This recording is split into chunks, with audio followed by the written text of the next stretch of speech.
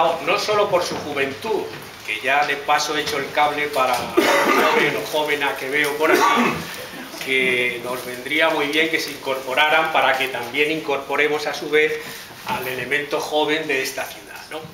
Pues Paco, que es un eminente físico y estuvo dando clases en la universidad sobre la materia, después cambió un poco su paradigma físico y se fue metiendo con otras materias y allá ha ido profundizando tanto en unas cosas como en otras. Lo que queríamos eh, este año, ya que estamos a finales de curso casi, como sabéis, hoy es las revoluciones en la visión del mundo físico y entonces hubo una charla anterior que la dio también Gabriel, que nos estuvo allí explicando más o menos los pasos desde la visión física de las etapas que se han recorrido en la historia, que han ido de una forma gradual con los avances y conocimientos científicos que se han ido produciendo, desde Galileo, pasando por Copérnico, llegando a Einstein y terminando con Planck, ¿no? Digamos que en el mundo se han ido produciendo gradualmente esa evolución de conocimientos y en algunos momentos ha habido un salto de calidad que era lo que hacía realmente y suponía un avance para la ciencia. Hoy ya no me atrevo a decir más porque nos metemos en la teoría cuántica y la verdad que eso es un berenjenal que es de mucho cuidado. ¿no? Paco nos lo va a hacer lo más asequible posible, pero en definitiva es otra visión del mundo con una explicación global de la existencia dentro también de su campo relativo. ¿no? Por lo tanto, os dejo con él para que nos haga su charla amena y al mismo tiempo agradable. Gracias.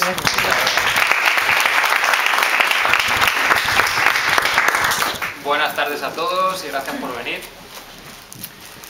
Esta charla eh, va de física cuántica, pero va a ser física cuántica sin fórmulas, para que intentar que nos enteremos todos, ¿vale? Explicar la física cuántica sin fórmulas eh, también implica que puede haber incorrecciones, o bueno, ¿qué se le va a hacer? Es preferible eh, facilitar el que todo el mundo tenga un mínimo acceso a ese conocimiento que ser estrictamente puro en lo que estás contando. Además de esa intención, eh, he relacionado la física cuántica con la evolución, un poco porque en la Universidad Popular se trabaja en temas transversales, entonces, en vez de dejar la ciencia como un tema separado del resto del mundo, intentamos juntarla con otras actividades humanas. Y en este caso vamos a empezar también hablando un poco de metafísica, viendo cómo desde ahí enlazamos con la física, y veremos a lo largo de la charla que incluso en la cuántica lo que ocurre en algún momento es una discusión de ideas eh, más bien filosóficas que no científicas. Porque todos somos seres humanos y tenemos nuestras filias, nos gustan más unas explicaciones que otras, sobre todo por las implicaciones trascendentales que pueden llegar a tener. Bueno, y sin más, comenzamos con la charla. Bueno, lo primero, para que nadie se desmoralice con el tema de la cuántica, aquí tenemos dos frases de dos grandes físicos. La primera es de Niels Bohr, que fue casi el, uno de los padres que avanzó ya hacia lo que es la mecánica cuántica, que nos dice que cualquiera que piense que puede hablar sobre la teoría cuántica sin marearse, ni siquiera ha empezado a entenderla. O sea que por mi parte también es un atrevimiento ponerme aquí a explicar la física cuántica. Y luego tenemos a Feynman, que lo he descubierto yo también hace poco, gracias a que he preparado esta clase, o sea que también me ha venido muy bien. Y nos dice que puede afirmar con tranquilidad que nadie entiende la mecánica cuántica. O sea que si nosotros tampoco la entendemos no pasa nada, estamos al nivel de los físicos más grandes, no hay problema. Bueno, pues a lo largo de la historia de la humanidad, lo que se ha buscado es darle un sentido a la realidad, explicar la realidad. Y para eso ha existido durante mucho tiempo lo que se ha llamado metafísica. La metafísica la podemos definir como una rama de la filosofía que se encarga de estudiar la naturaleza, estructura, componentes y principios fundamentales de la realidad. Eso es una definición así eh, como muy académica y nos lleva a la primera pregunta. ¿Pero qué es la realidad? Y eso ha sido una pregunta muy importante que ha llevado un montón de respuestas y una de las respuestas clave es la de pienso, luego existo. Esa respuesta lo que implica es no tengo ni idea de lo que es la realidad, pero sé que existo porque estoy pensando. A partir de ahí luego ya veremos qué pasa. Bueno, pues esa respuesta llevó por dos caminos. Un camino que decía que realmente nuestra mente era la que más o menos generaba la realidad, o, la importante en la realidad. Y por el otro lado, otra corriente que lo que se basaba era en lo palpable, en lo que podríamos llamar real. Es decir, una intentaba, lo que decía era que los, conceptos de la filosofía natural, que luego sería la física, no son más que construcciones mentales eh, propuestas para explicar la experiencia sensorial, que puede ser falsa, y la otra, que conocida como positivismo, nos dice que el único conocimiento auténtico es el que se basa en la experiencia sensorial real. O sea que son totalmente contrapuestas las ideas. A lo largo del siglo XIX, la que va a triunfar es el positivismo y de hecho se llega un paso más allá a lo que podemos llamar mecanicismo. Y el mecanicismo nos dice que todo en la realidad obedece a leyes físicas y químicas y que todo al final es explicable a partir de esas leyes. Es un poco fuerte, así enunciada. Y eh, para poder trabajar de esa manera, lo que utilizaban los científicos era un método, que denominaron el método científico. Ese método nos permite trabajar con esa realidad y obtener consecuencias ¿En qué se basa el método científico? Pues lo primero es en observar, en observar qué está ocurriendo. Y observo a través de mis sentidos o con aparatos. También utilizo un razonamiento, porque a partir de lo que observo intento sacar por qué ocurre eso. Y el siguiente paso es comprobar si lo que yo he razonado es cierto. Y para eso hago experimentos, para comprobar si mi hipótesis coincide con la realidad. ¿Bien? Bueno, pues de la idea mecanicista podemos hacerla un poco más humilde y realmente la física lo que nos informa es de las reglas del juego de la realidad. Podemos comparar con un juego de ajedrez. En el juego de ajedrez, las reglas de movimiento de las fichas serían las reglas de la física, la física fundamental. Nosotros realmente no tenemos por qué saber cuál es la intención del movimiento de una ficha, pero sabemos cuál es la regla de ese movimiento. Para la física, con eso vale. Y simplemente con saber esas reglas, suponemos que entendemos la realidad.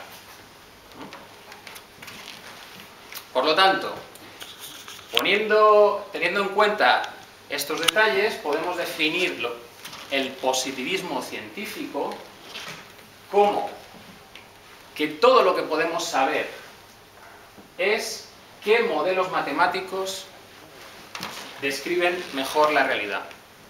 La ciencia define la realidad a partir de modelos. Son aproximaciones, no es la realidad en sí.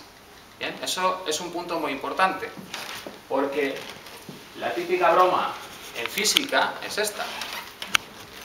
Vamos a calcular y calculamos a partir de una vaca esférica de radio 1. Y a partir de eso yo puedo llegar a unos resultados que se corresponden más o menos con la realidad. Pero la realidad no es esa. Incluso en los campos también tenemos algo parecido. Esto es un modelo y esta es la realidad. Pueden parecerse, pero no son iguales. ¿Bien? Bueno, eh, Richard Feynman eh, para mí, os eh, he comentado antes que ha sido un descubrimiento, porque es de los pocos científicos a los que le he escuchado decir no tenemos ni idea de por qué se produce esto. Luego es un científico que realmente no tiene miedo a reconocer hasta dónde llega. Y eso le permite ver las cosas con mucha mayor claridad. Hay una historia curiosa sobre Feynman que le hicieron un test de inteligencia en el bachillerato y dio 125, que no está nada mal, pero no llega a ser genio.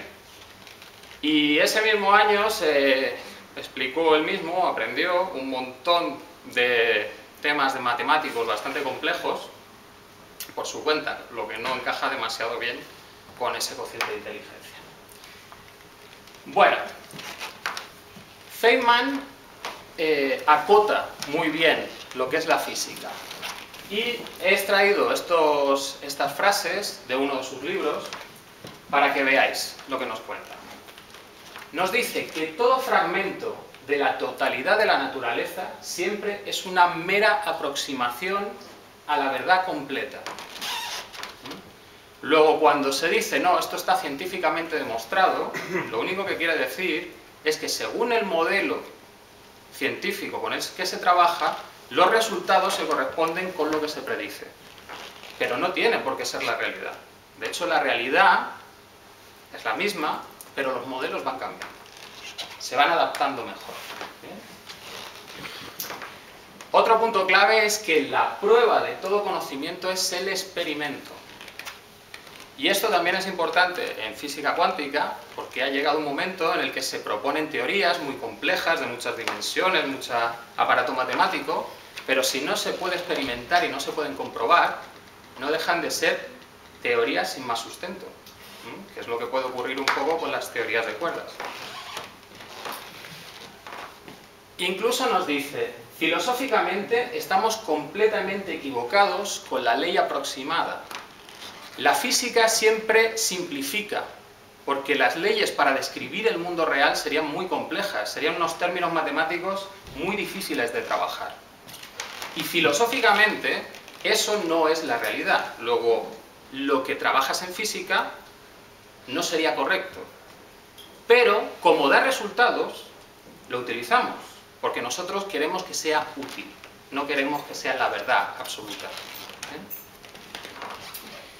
Y el último punto es, nos dice que incluso un efecto muy pequeño requiere cambios profundos de nuestras ideas.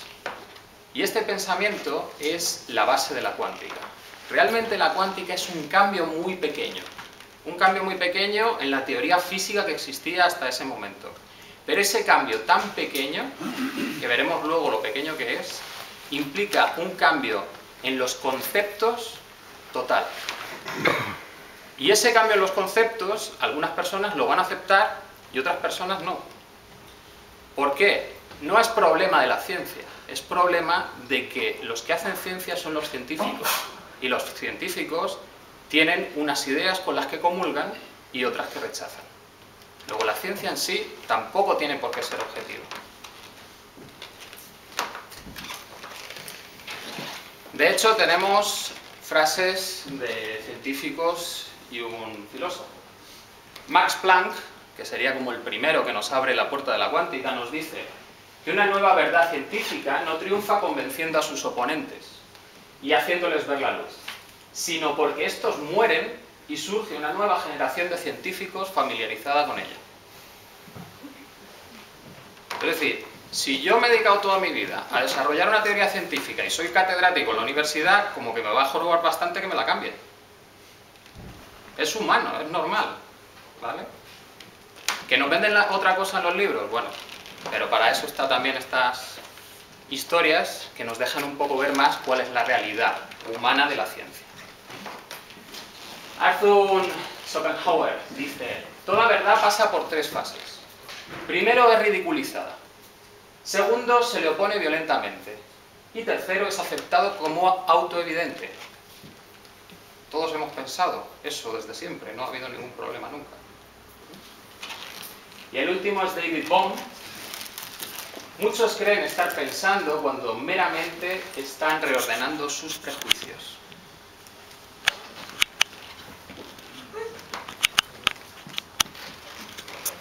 Bueno, entonces, ¿en qué nos quedamos cuando aparecen un montón de teorías? ¿En cuál nos quedamos? Bueno, Einstein nos ofrece un criterio que nos dice, todo aquello que no se pueda expresar con palabras sencillas se debe a que no es verdad.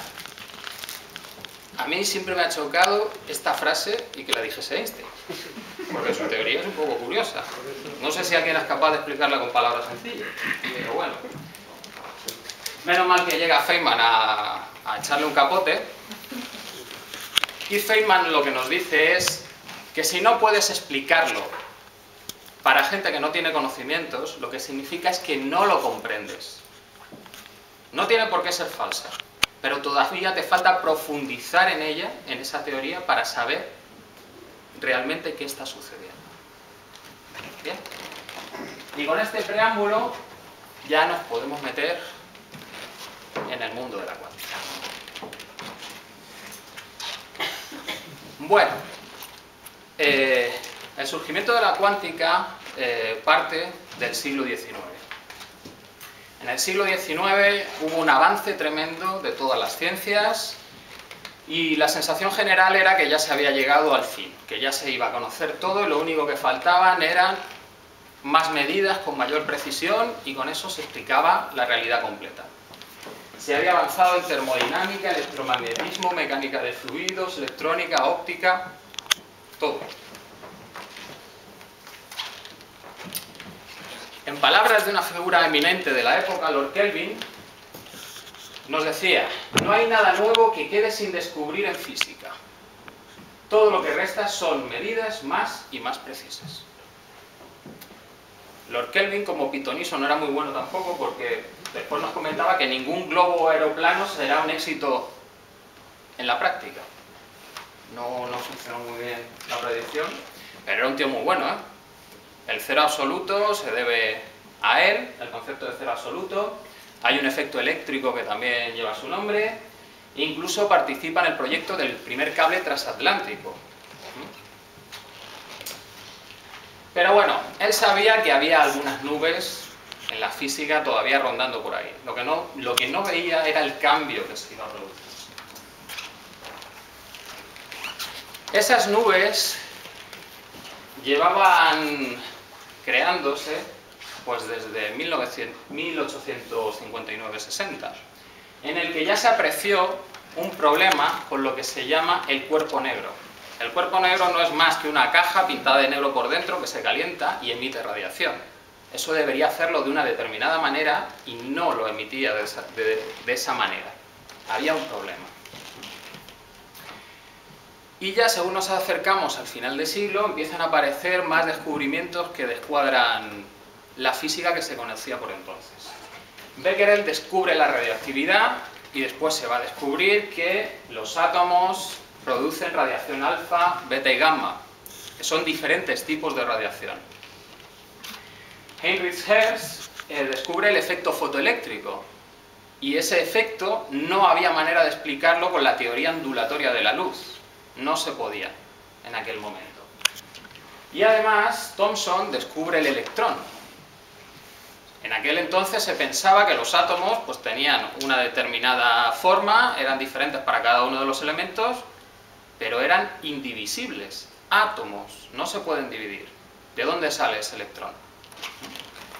Y este es el panorama con ese que nos encontramos con el cambio de siglo. Vamos a analizar uno a uno esos problemas. Lo primero es eh, el que os comentaba de la radiación del cuerpo negro. Pues, como está en el dibujo, no es más que una caja pintada de negro por dentro que se calienta. Y lo que se mide es la radiación que va emitiendo a través de un agujero. Lord Rayleigh y Sir James Jean intentan obtener una curva que dé con los datos, encaje con los datos que se obtienen. Y el problema es que lo que ellos calculaban era la curva, la curva punteada. Esa curva punteada lo que decía es que según sube la temperatura del cuerpo negro, al final se iba a acabar emitiendo una energía infinita, y eso no podía ser. ¿Cómo ibas a emitir una energía infinita a partir de un calor que le estabas dando tú, que era finito? Lo que se suponía para modelar esto era que ponían en cada punto de ese cuerpo unos osciladores, que es lo que hacemos los físicos siempre. Solo sabemos resolver claramente el oscilador armónico y el péndulo cuando lo hacemos oscilar muy poquito. Luego eso, como lo sabemos hacer muy bien, lo metemos para atrás. ¿vale? Pues cogían los osciladores, los colocaban en el cuerpo negro y resulta que, eso que la solución que obtenían no cuadraba. Había algo que no encajaba. Y es lo que llamaban la catástrofe ultravioleta. Porque cuando se llegaba precisamente a calcular la energía del ultravioleta, aquello se disparaba y daba infinito. De hecho, los problemas de infinitos ocurren bastante en física y es un tema bastante curioso. Ya hablaremos. Bien, pues fijaos que esas eh, soluciones de Rayleigh y Jeans son de 1905. Pero ya en 1900 Planck, este hombre, había visto que no encajaban bien los resultados con la teoría. Y para encontrar algún modelo que pudiese funcionar, lo que supuso fue que los osciladores realmente no podían tener cualquier energía, sino que tenían que tener energías discretas, unas sí y otras no. ¿Bien? Y lo, que, hizo fue precisamente pues, buscar qué energías podrían tener y hacer los cálculos. Cuando hizo los cálculos, lo que le salía era una curva que encajaba perfectamente con los resultados. No se iba a infinito en ningún momento. Y entonces propuso su teoría. Él no utilizó la palabra cuánto y encima estuvo peleado con las implicaciones posteriores de esa cuantificación. ¿Cuáles son las implicaciones? Pues que una cantidad muy pequeña, fijaos la de ceros que tiene ese 7, es importante y cambia la física. Y no solo la física. Hay implicaciones, de hecho, en las mentes de las personas, porque tú crees que las cosas son de una manera, y si no son de esa manera, no quieres estar ahí. También es interesante conocer que en 1877 ya se había propuesto esa idea de que los estados de energía podían ser discretos, que no tenían por qué ser continuos. Y esto es otra de las cosas que ocurre en física. Cuando nos la cuentan, parece ser que hay un tío súper inteligente que se le ocurre en el momento una ecuación, la resuelve y ya está. Avance nuevo. No es cierto. Los avances se acumulan a partir de un montón de suposiciones, de investigaciones, de pruebas. Lo que pasa es que hay una persona, que es la que logra publicar a tiempo, porque incluso hay veces que gente publica antes o no se atreve a, publicar sus resultados, y el que sí se atreve y se le reconoce, pues es el que se lleva el, mérito.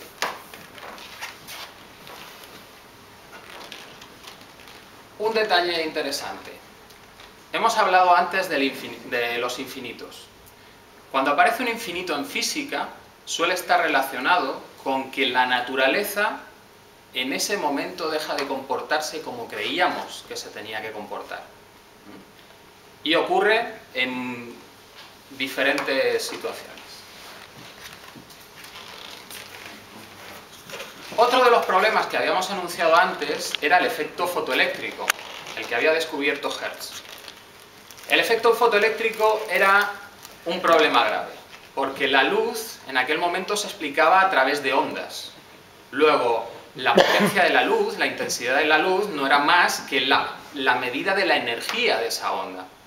El efecto fotoeléctrico es lo siguiente.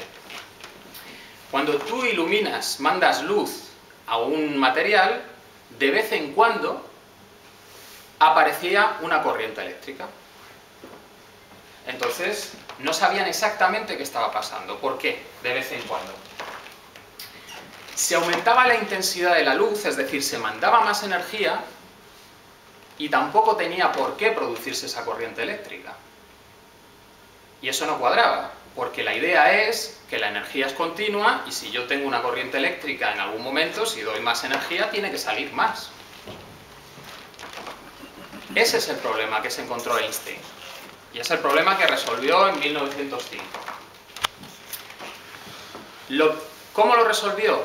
Dando un cambio radical a esa imagen de energía continua y la luz siendo una onda. Él lo que propuso es, la luz va en paquetes de energía. Si ese paquete no es lo suficientemente potente, no lleva la suficiente energía como para chocar con el electrón y sacarlo del átomo y producir una corriente, no veríamos esa corriente. Nunca.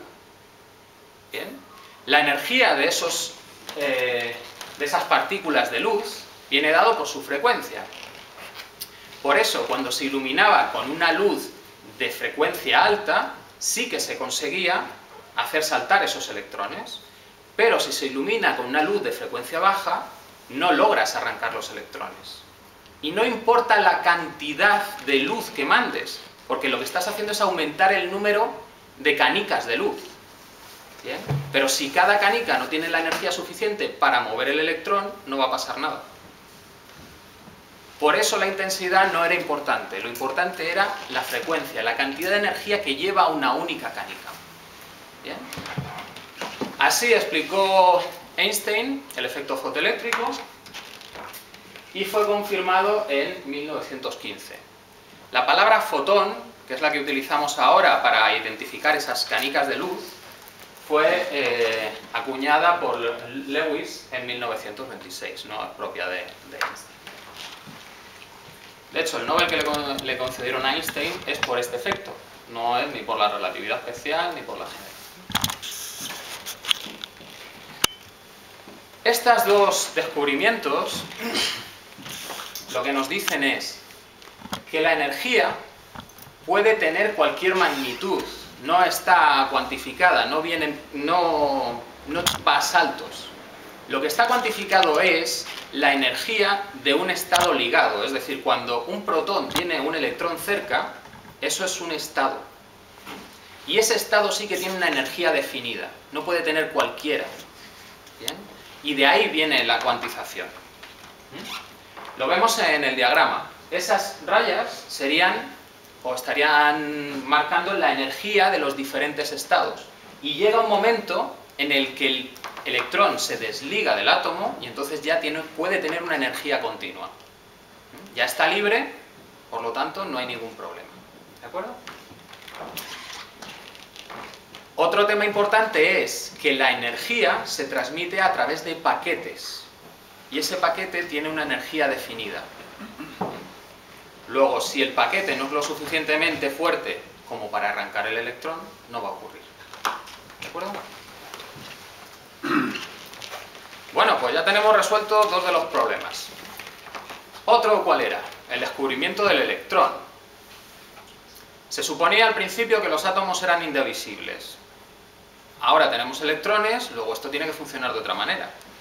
Se propuso otro modelo en que los electrones lo que estaban es incrustados, como si fuese un bollo con las pasas, en el átomo. Pero eso tampoco funcionaba muy bien. Llegó el primer varón Rutherford de Nelson y propuso un modelo del átomo. Un modelo muy parecido al de los planetas. En el centro estaría el protón con una carga positiva y el electrón con una carga negativa estaría dando vueltas alrededor. Y de hecho, eh, la imagen que tenemos típica del electrón con las órbitas es de ese modelo. Ese modelo realmente solo duró dos años y sabían cuando lo propusieron que no funcionaba, porque cuando una carga gira, radia energía Luego, el electrón debería caer al núcleo y dejar de girar. ¿Eso qué implica? Que la naturaleza que conocemos no debería existir. Pero como existe, pues habrá que buscar otra solución. Otro problema que había en aquel momento eran los espectros. Los espectros es una manera que tienen los científicos eh, de encontrar la energía de los niveles electrónicos, es decir, de cómo están ligados de fuerte los electrones al núcleo. Fijaos, el primer e-, espectro, que es continuo, es el espectro del Sol. El siguiente es el del hidrógeno, el, siguiente el helio, uranio, mercurio y uranio. El del Sol es continuo, salvo unas líneas negras, y los otros son líneas y lo demás es negro. Bien. Si encajásemos el del Sol con el del hidrógeno y el helio, esas líneas encajarían con las negras. Porque el Sol está emitiendo una luz que es absorbida por los elementos que tiene el Sol. ¿Bien? O sea que es una manera bastante buena de encontrar propiedades, encontrar elementos y tal. Pero en aquel momento lo que no se sabía es por qué tienen esas líneas los elementos, por qué están tan separadas. Eso indicaría como que hay unos niveles de energía fijos y luego nada, hasta el siguiente nivel de energía. Todos esos datos los juntó Bohr y lo que propuso dos años después de Rutherford es el siguiente modelo, el que veis ahí dibujado. Los electrones están orbitando alrededor del núcleo en determinadas posiciones y solo en esas. Y cuando pasan de una posición a otra, entonces absorben o emiten energía. Y una energía determinada. Con lo que así podemos explicar que haya una línea, solo una línea de energía en el espectro. ¿Bien? Y además se hacía una suposición. Los electrones no pueden caer al núcleo. Tienen una distancia mínima y en esa distancia mínima es la energía mínima. De ahí no pueden bajar. Bueno, pues el modelo convenció tanto que incluso le dieron un Nobel a este hombre, aunque hubo que hacer bastantes apaños porque esto tenía sus, sus dificultades. ¿Qué carencias tenía el, el modelo de, de Bohr? Pues lo primero es que era una ecuación fenomenológica, no se sabía de dónde venía, simplemente que cuadraba con los resultados que se obtenían experimentalmente. Además, solo funcionaba para el hidrógeno, es decir, uno de todo el porrón de elementos que se conocen.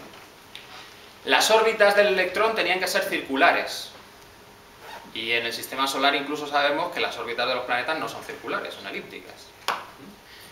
No tiene en cuenta efectos relativistas, y la relatividad ya se había descubierto en 1905. Todo, todo eso fue corregido por Sommerfeld en 1916 y se logró otro modelo que encajaba bastante mejor. Bueno, pues estas teorías de Planck y de Bohr, que son fenomenológicas, es lo que se conoce como la teoría cuántica antigua. Bueno, pues esa pregunta de por qué el electrón está en, esa, en ese orbital o en esa órbita y no puede decaer al núcleo, tenía que ser resuelta, porque eso está puesto ahí a capón, porque si no el modelo no me funciona, pero tendrá una explicación. La explicación la propuso Luis Víctor Pierre Raimond, séptimo duque de, de Broglie. Tenían nombres curiosos. Lo que dijo fue, si toda onda conlleva una energía y la materia es energía, podemos suponer que la materia también es una onda. Esto sería relacionar los descubrimientos cuánticos con la relatividad. El E igual a mc cuadrado. Pues lo propuso, hizo una tesis y pues nada, le dieron el Nobel a los tres años porque descubrieron que realmente los electrones se comportaban como ondas. Esas dos fotos que tenéis ahí son una difracción de luz y electrones y podéis ver que es muy similar. Eso es la demostración de que los electrones funcionan como ondas también. Si los electrones funcionan como ondas, toda la materia funciona como ondas. Nosotros también funcionaríamos como ondas. Lo que pasa es que vibramos cada 10 a la menos 52 segundos. Para hacernos una idea de cuánto es eso, la edad del universo son 5 por 10 a la 17 segundos. O sea que bastante más, comparativamente, sería, eh, o bastante menos, sería el movimiento que tenemos de vibración. Por eso no podemos identificarlo. ¿Por qué era interesante que la materia funcionase como una onda? Porque entonces podemos explicar por qué tiene el orbital esa distancia justa. Porque el orbital que puede contener un electrón tiene que ser un orbital en que su onda no interfiera con ella. Porque si interfiere se destruye y desaparece la onda. Tienen que ser solo unas determinadas longitudes en las que permita caber la onda completa. Y entonces ya queda todo explicado. Solo puede tener el electrón determinadas posiciones que coincidan con múltiplos de su longitud de onda. O sea que la hipótesis podía explicar ya finalmente el por qué existían esas, esas órbitas. Bueno, ya que hablamos de ondas y partículas, tenemos que tener en cuenta lo siguiente. Llamamos a las cosas ondas o partículas porque cuando nosotros interaccionamos con ellas, lo hacemos de una manera específica. Luego es una convención nuestra, más bien. Estamos dando nombre a la manera en que esas cosas reaccionan, no a lo que son. ¿Bien? Es un, un concepto ahí que...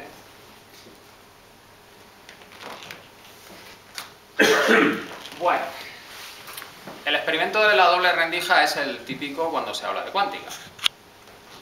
Y sería, pues, otra manera de explicar precisamente esa naturaleza dual del electrón, que también funciona como una onda. Para explicar realmente la clave del experimento de la doble rendija, hay, que enviar los electrones casi de uno en uno. Porque si envías muchos electrones, al final lo que tú puedes suponer es que los electrones pueden pasar por los dos agujeros y luego cuando interfieren, están interfiriendo unos con otros. ¿Bien? Luego eso no sería muy extraño, porque ya sabemos que los electrones tienen una onda asociada. El problema extraño viene cuando reduces el número de electrones y puedes casi enviar uno a uno los electrones por las rendijas. Luego no hay otro electrón con el que pueda interferir. Lo que tenéis ahí son las fotos de los electrones cuando se van enviando uno a uno. Esto costó bastante tiempo conseguirlo, porque los aparatos era, había que refinarlos bastante, pero fijaos que poco a poco en ese choque de electrones se van formando las franjas de interferencia. Y eso quería decir que el electrón de alguna manera estaba interfiriendo consigo mismo. Y eso ya sí que es raro.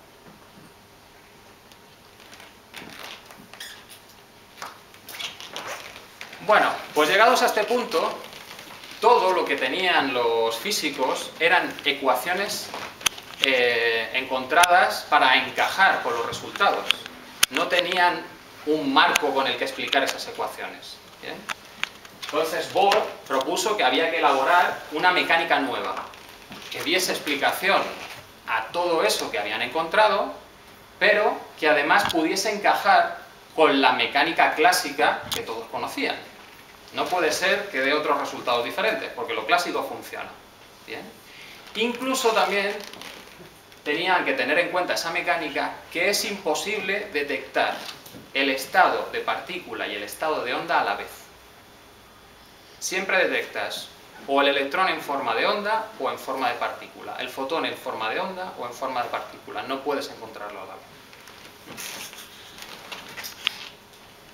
Heisenberg, que es el de la foto de arriba. Aunque el que le da el nombre de mecánica cuántica por primera vez es Born, el de abajo. Heisenberg empezó a crear todo el aparato matemático desde cero, pero con una intención. Él iba a definir en ese aparato lo que se podía observar, solo lo que se podía medir, no lo que eran las cosas. Eso no le preocupaba. Lo que le preocupaba era encontrar resultados que pudiesen luego compararse con los experimentos. ¿Bien? Luego era positivista puro. El experimento es lo que manda.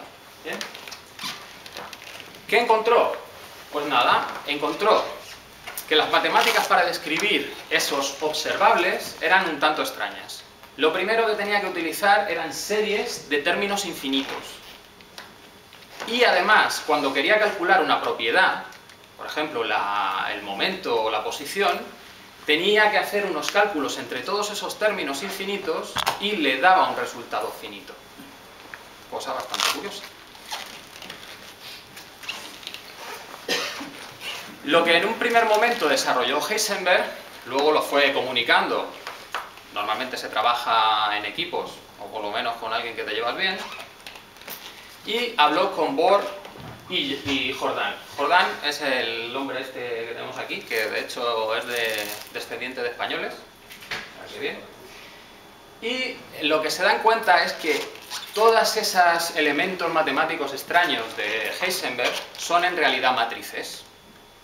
Y Jordan es una máquina con las matrices, arregla todo el aparato matemático de Heisenberg y lo dejan perfecto.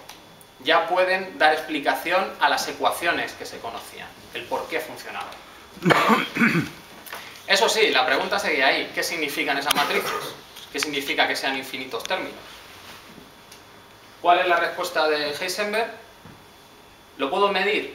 No, no me preocupa. Ya está. La realidad, eso para el que la quiera pensar. A mí lo que me importa es encontrar resultados que se puedan comprobar. Bueno, pues dentro de toda esa teoría encontraban que había ciertas cantidades que eh, tenían un pequeño problema.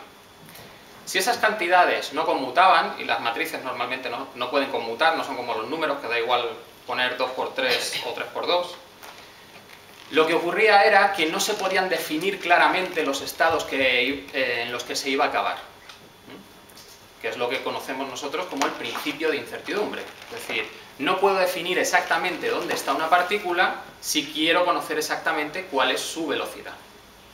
¿Bien?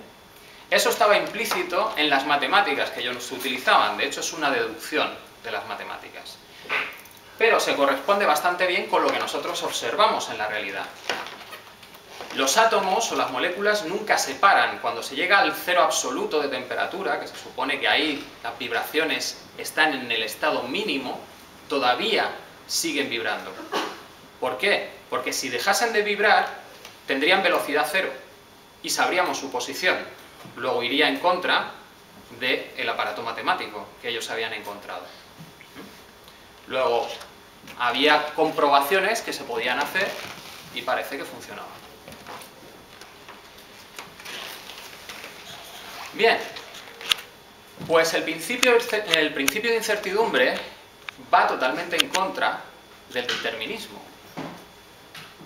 En el siglo XIX eh, la idea, ya lo hemos visto antes, era el mecanicismo, es las leyes físicas y químicas son fijas y me describen la realidad completamente.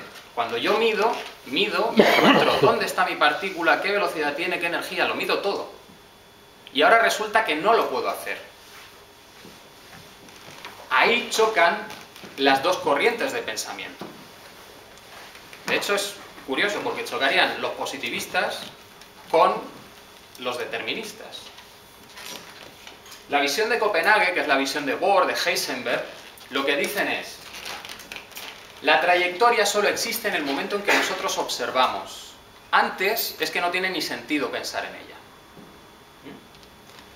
Y hablando estrictamente, el electrón es borroso, punto. Ya está. Es lo que podemos observar, es lo que vale. No me voy más allá. No intento explicar nada más. Eso a Einstein no le cuadraba para nada. Hasta llegar a este punto, al principio de incertidumbre, Einstein pues podía tirar bien con la, con la cuántica. De hecho, él era uno de los que había participado. ¿Vale? La cuántica pues es algo que tiene sus cualidades y tal, pero todavía puedo medir, puedo hacer cosas. Pero en este momento me están diciendo que las partículas no están fijas. Eso se carga el determinismo. ¿Cómo sé qué es causa de qué? ya empiezan a fallar. Por lo tanto, lo que decía Einstein es que el electrón es borroso porque yo estoy limitado en mi capacidad de medida, porque no sé hacerlo mejor. Pero realmente el electrón sí que tiene una velocidad y una posición fijas de verdad, existen de verdad. Bueno, pues esto lo que va a hacer es formar dos equipos que van a estar peleándose durante unos pocos años y cada uno tirándose flores unos a otros, según iban descubriendo cosas o iban interpretando cosas. Por ahora, los que ganan son los de Copenhague. El electrón es borroso. Bueno, pues al equipo de Einstein se suma Erwin Rudolf Joseph Alexander Redinger. Y fijaos lo que opinaba.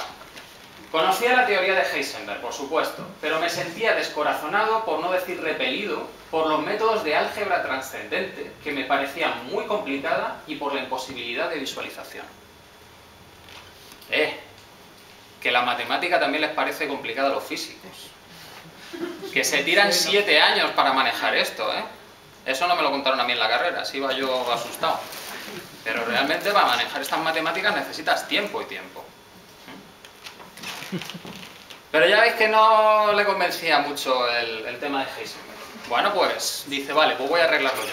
Y en 1925 coge, se retira a una casa en los Alpes tras abandonar a su mujer e irse con una novieta que tenía. Bueno, de hecho, Redinger tenía una vida con la mujer bastante curiosa. Podía ser lo mismo por el efecto de la incertidumbre o algo, pero...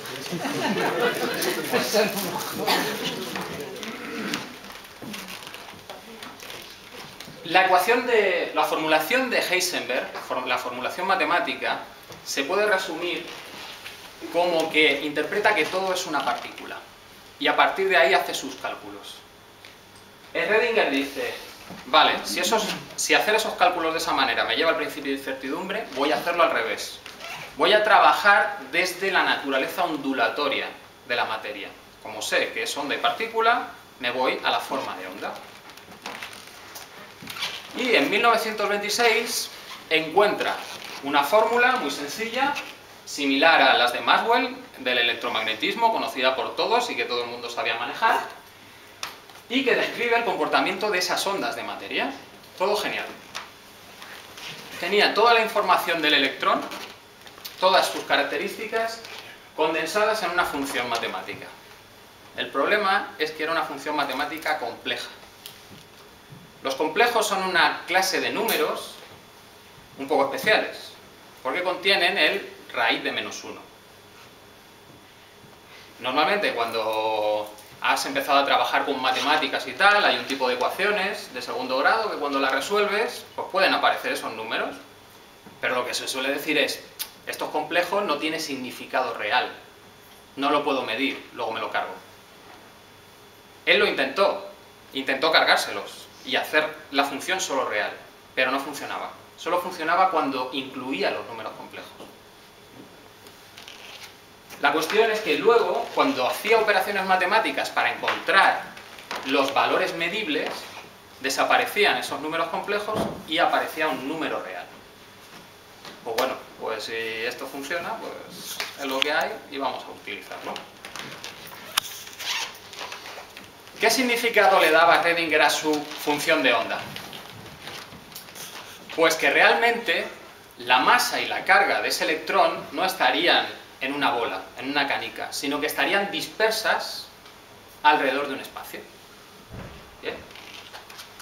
Y estaría definida la cantidad de electrón en cada uno de sus puntos por la intensidad de la función de onda. Esa intensidad es más o menos elevar al cuadrado la función de onda con lo que se te va al complejo.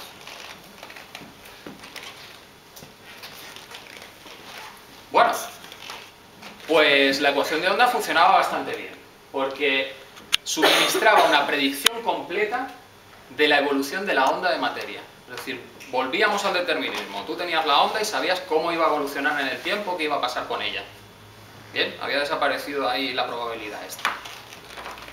Pero había un pequeño problema, que es que cuando se hacía una medida, esa ecuación de onda, que podía tener varios estados a la vez, y eso es importante, luego seguiremos con ello, curiosamente perdía todos los estados y se quedaba con uno.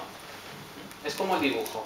En el dibujo tenemos una función de onda, que es como un cono, pero cuando yo mido el electrón, no está disperso, está en un punto un único punto. Luego, la naturaleza probabilística aparece cuando yo mido Si no mido, todo es determinista, todo evoluciona bien. Pero cuando yo mido, el electrón está en algún punto de esa zona.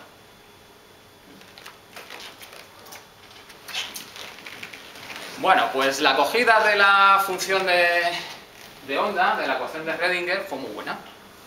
Porque era mucho más sencilla de usar, no tenías que andar con las matrices estas locas que la entendía poca gente. Y además pensaban que no tenía el principio de incertidumbre. Luego ya está, me lo he quitado de encima. Lo que significa es que aquello no funcionaba bien. Bueno, Heisenberg no opinaba lo mismo. Cuanto más pienso sobre la parte física de la teoría de Redinger, más repulsiva la encuentro. Lo que Redinger escribe sobre la visualizabilidad de su teoría probablemente no es del todo cierto.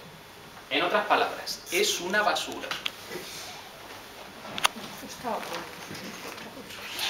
¿Os dais cuenta de lo equilibrados y objetivos que son los físicos, no? Por supuesto. No son personas, son máquinas. Bueno, pues habían conseguido los chicos de Einstein como darle un parapalo a, a Heisenberg. Bueno, hasta cierto punto. Porque Redinger, aunque no le gustaba la cuántica, sí era consecuente con la física. Y él mismo demostró que su teoría y la de Heisenberg eran equivalentes. Es decir, que su teoría también incorporaba el principio de incertidumbre. ¿Por qué? Porque la indeterminación no se debe simplemente a, que observar el electrón lo modifiquemos. Al, iluminar ese electrón para saber dónde está lo estemos perturbando. No, el electrón también es una onda. Y la onda no está muy bien definida dónde está y cuál es su velocidad. Luego ahí, si quiero saber exactamente dónde está, empiezo a encoger la, onda, con lo que pierdo su longitud, no puedo calcular su velocidad, y si estiro la onda para saber bien la distancia entre picos, que eso me daría su velocidad, pues ya está muy extendida. Luego no sé exactamente dónde está. Luego en esa formulación está incluido también el principio de incertidumbre. Bueno, en estas el equipo de Copenhague contraataca y dice, a ver, aquí hay experimentos en los que me estás diciendo que el electrón que está esparramado ahí por una zona choca con un núcleo y según tu ecuación se divide en dos. Y hay un cacho por un lado y otro cacho por otro. Pero cuando yo mido solo está en un punto. ¿No será que realmente no es que el electrón esté extendido, sino que lo que tú me estás dando es una probabilidad de encontrar el electrón? en un punto. Y eso es lo que propone Bohr. Pero fiel a la interpretación de Copenhague, dice que hablar de lo que hace el electrón antes de, que yo lo observe, da igual. No es importante. Lo único importante es lo que yo mido, porque eso es lo que me vale experimentalmente para comprobar las cosas.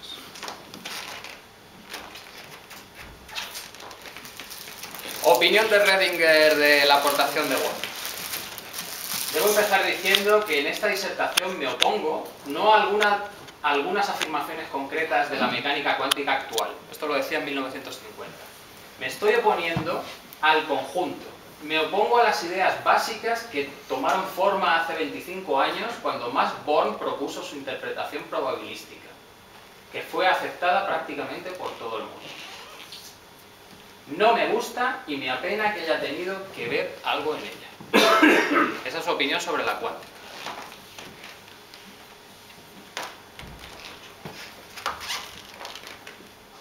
Y vuelven a ganar los de Copenhague.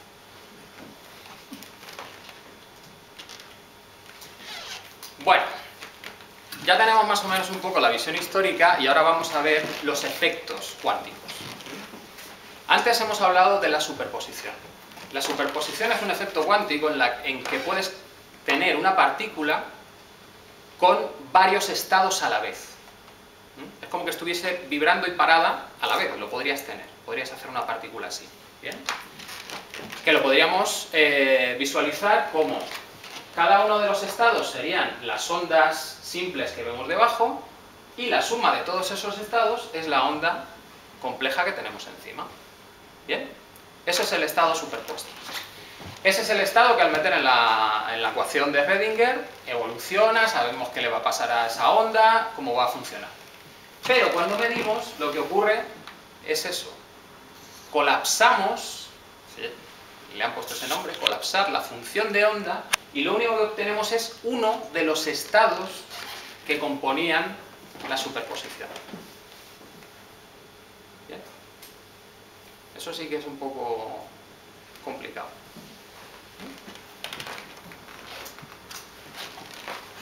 Más cosas.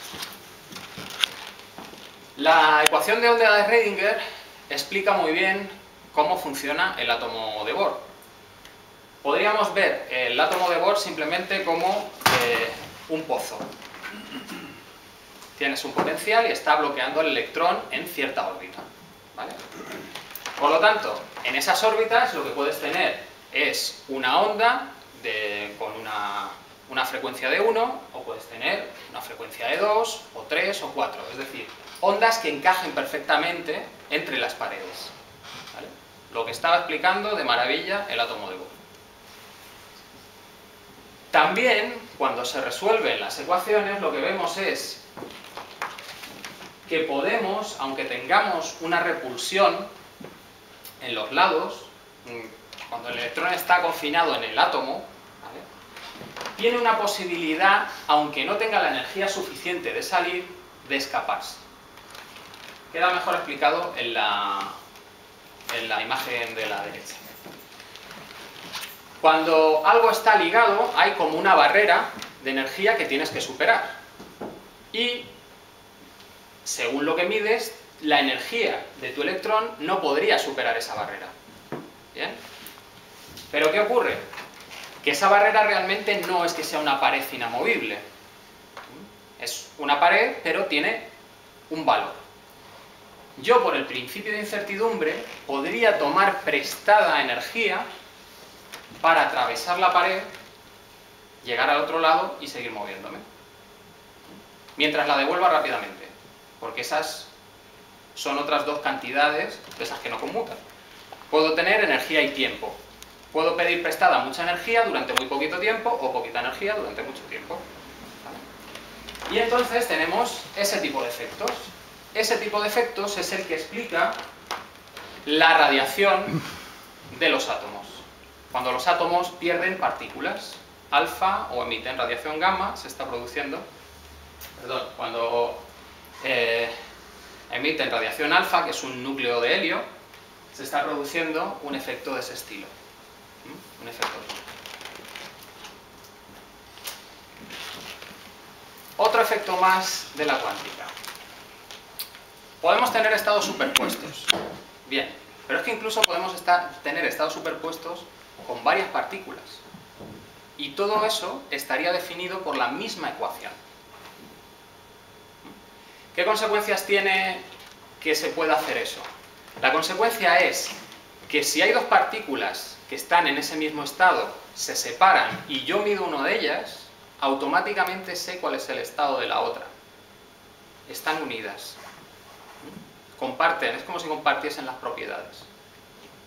Y esto es una de las cosas que decía Einstein que no podía ocurrir, porque entonces se cargaría la causalidad, porque había una transferencia de información por encima de la velocidad de la luz.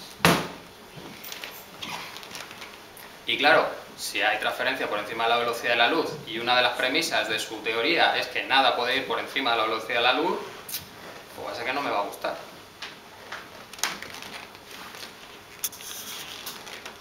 Bueno, ese efecto, últimamente, eh, se oye el término teletransporte cuántico.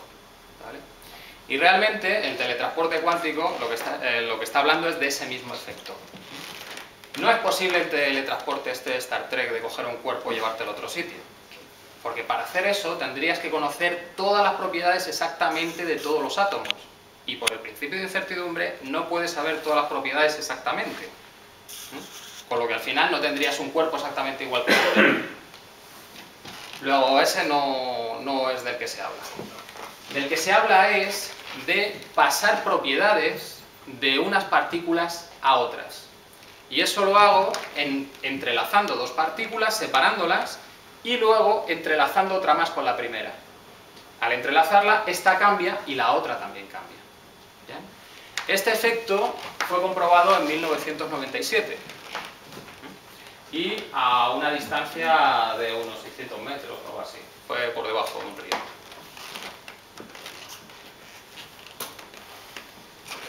Bien, pues llegamos al punto clave, que es la paradoja del gato de Schrödinger.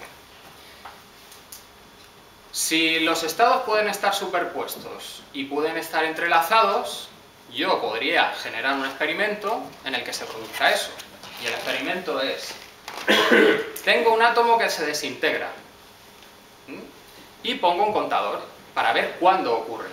Yo no sé cuándo va a ocurrir. Hay una probabilidad de que ocurra en un cierto momento y eso viene definido por la superposición de estados de ese átomo. Bien, pongo el contador, ese contador, si detecta la, emisión de la radiación, lo que va a hacer es romper un frasco de veneno y el gato que también voy a meter en la caja se va a morir. Si yo tengo que describir eso con ecuaciones de cuántica, lo que estoy haciendo es que la primera superposición la voy a entrelazar con el gato. Y al final el gato va a estar en un estado medio vivo, medio muerto. Porque también el átomo está medio entero, medio desintegrado. Eso no acaba ahí. La implicación de eso es que si hay un observador humano, también lo puedo meter en la caja. Y el observador humano está también en un estado que está mitad viendo al gato muerto, mitad viendo al gato vivo. Y eso puedo seguir haciéndolo las veces que quiera, de tal manera que al final mi medida, es decir, que yo me entere de que ocurre algo, fija toda la probabilidad de todos los demás. Bastante curioso.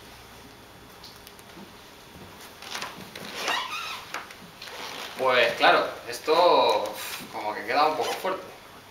Es decir, todos estáis en mis manos. Cuando yo mida algo, es cuando cogéis vuestro estado. Bueno, ¿qué nos van a decir los de Copenhague? Las matemáticas de la física no representan lo que son las cosas, sino lo que medimos de ellas. Luego, todo ese barullo de los estados así a medias no existe. Cuando midas es lo que te importa. Y ya está. Que bueno, es un poco meter la cabeza en la arena y decir, bueno, lo demás no me compliquen la vida, que yo soy muy bueno con las matemáticas. Bueno, pues con esto finaliza una época, que es la que se llama la época de la primera cuantización. En esa época lo que se cuantizaba eran las partículas y sus propiedades pero los campos y los potenciales de energía no estaban cuantizados. Eso tenía un pequeño problema, que en las ecuaciones los electrones jamás deberían de caer. Es decir, que si un electrón se va del átomo, nunca vuelve. Había una probabilidad cero de que eso ocurriera.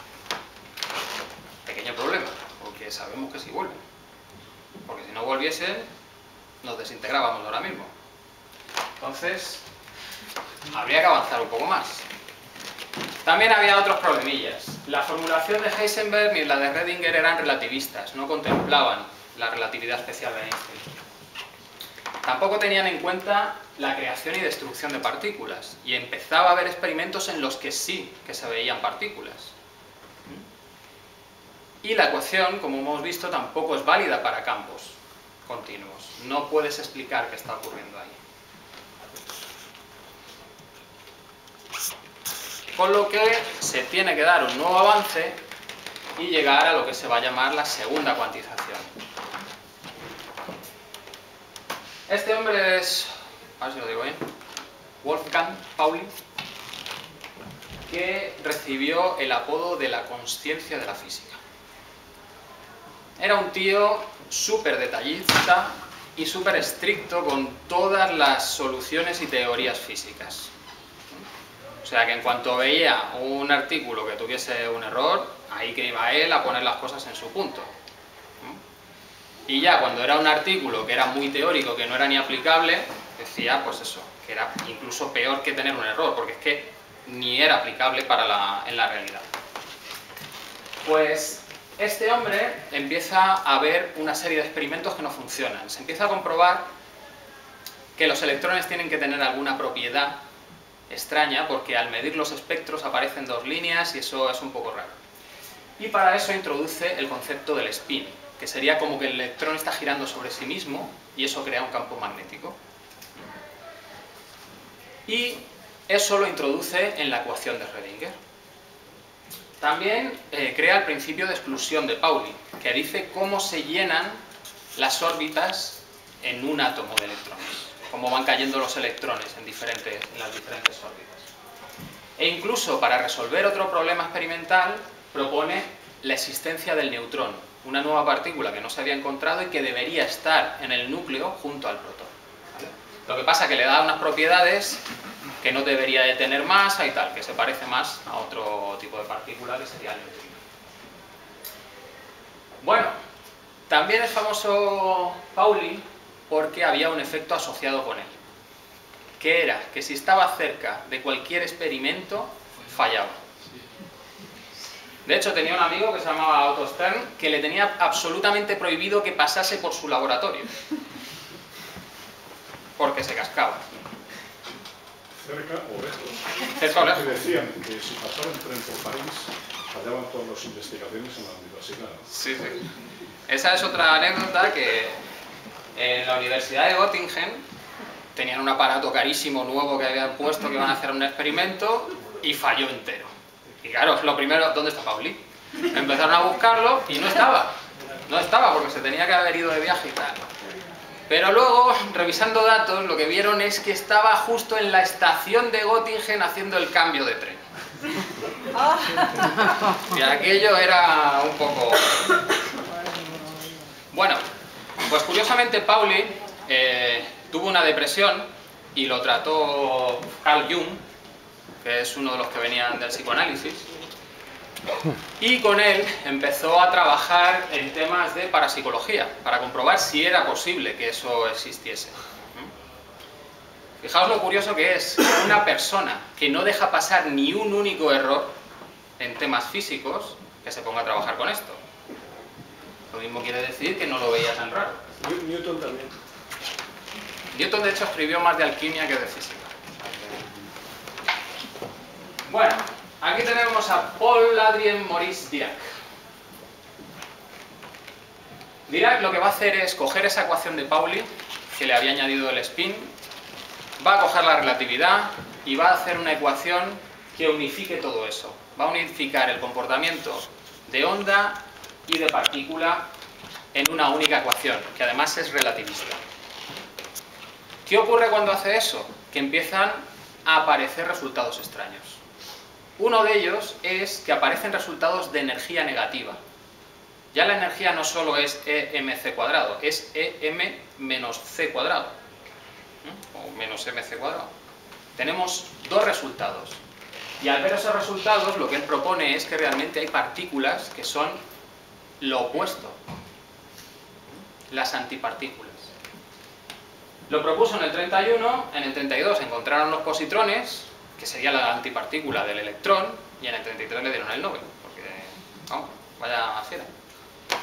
Y además descubre lo que vino a llamarse el mar de Dirac, que el vacío estaría lleno de estados de energías negativas. Es decir, el vacío podría estar lleno de partículas antipartículas. Bueno, Dirac era un tío un poco asocial, tuvo sus traumas con su padre y eso. Y hay una anécdota curiosa en que estaba en un crucero con Heisenberg y había un baile, entonces Heisenberg fue para allá y se puso a bailar con las chicas y Dirac le preguntó, ¿pero por qué bailas? Y Heisenberg pues, le dice, pues hombre, aquí hay un juego de palabras con el inglés, nice en inglés puede ser bonita o puede ser agradable, de personalidad. Y entonces, claro, Heisenberg le decía, hombre, pues si hay mujeres bonitas, agradables, pues es un placer. Él se queda pensando y le dice, ¿y cómo puedes saber que una persona es agradable antes de conocerla? La que tenía su mentalidad un poco en lo suyo. Bueno, pues Este descubrimiento del mar de Irak y otras cosas lleva a la segunda cuantización. La segunda cuantización es coger esos cambios, esos campos que antes los tratábamos como clásicos y tratarlos también como cuánticos, que tuviesen estados de energía definidos. Las amplitudes de esos campos, al cuantizarlas, lo que forman son partículas. Y en el caso del campo electromagnético, lo que estarías describiendo son los fotones, los cuantos de luz. El campo electromagnético, al cuantizarse, poseería un estado fundamental que es el que llamamos vacío y que puede interaccionar con los estados de cualquier átomo. Con esto lo que conseguían era poder explicar un efecto que se llama el efecto LAM, en el que hay una muy muy pequeña separación entre dos estados energéticos. Y era precisamente porque el vacío estaba interaccionando con los electrones. Por tanto, vacío va a significar estado de mínima energía del campo electromagnético. Cosa que entra en total discrepancia con las teorías de Einstein, porque para Einstein el vacío es vacío. Esto que se definía así teóricamente se pudo comprobar. Pues sí, hay un efecto que se llama efecto Casimir, que fue propuesto en el 48 y comprobado en el 97. Porque ese efecto se basa en tener dos placas paralelas, muy muy juntas, y en ese momento lo que estás haciendo es prohibir una serie de frecuencias, porque van a interferir. Y van a desaparecer todas las que interfieren, solo te van a quedar unas pocas. Por tanto, vas a tener más ondas exteriores que interiores. Y finalmente vas a tener una presión de esa radiación exterior que junta los dos platos. ¿Vale? Eso sería la demostración de que realmente ese vacío existe y tiene un efecto en el mundo real. Pues para separaciones de 10 nanómetros, el efecto Casimir produce el equivalente a una atmósfera de presión. Una atmósfera de presión ya refleja. Incluso ese efecto podría ser repulsivo, si se hacen ciertos apaños en los estéreos. Más cosas. Como iban mejorando las máquinas que tenían para hacer colisionar partículas, lo que van descubriendo es que el electrón se comporta de una manera extraña. Se suponía que las partículas son bolas. O bueno, después de que estén desparramadas, bueno, está la cosa ahí un poco dudosa, pero bueno, más o menos, bolas. Y se hace chocar algo contra esa bola, para ver si hay una estructura o cómo es esa dispersión. Pues lo que van encontrando es que por mucha energía que le vayan dando a las partículas para que choquen, los electrones, lo que va ocurriendo es que parece como que el electrón cada vez gana más carga, que cada vez es más intensa esa carga. Luego, realmente ese electrón no sería una bola con una carga definida, sino que cada vez, cuanto, cuanto más me meto hacia su interior, más aumenta su carga. ¿Qué se lleva a concluir? Pues que realmente el electrón debería ser una cuasi una partícula cuasi puntual, por no decir puntual, que su carga es infinita y que la carga que nosotros vemos sería su carga infinita apantallada por las partículas que aparecen en el vacío. Porque al tener un electrón estamos perturbando el vacío, luego cuando aparecen esas partículas que están como bullendo, las positivas se quedarían mirando al electrón, las negativas hacia afuera, y eso apantallaría el efecto hasta que finalmente nosotros vemos una carga definida. Pero de nuevo, estamos sumando cosas infinitas, más de una partícula. El cuarto diagrama, todavía más partículas. ¿Mm? Y lo que voy consiguiendo es complicar cada vez más la interacción entre todas las partículas. Si corto en un punto determinado, no tengo un infinito me quedo con una cantidad exacta.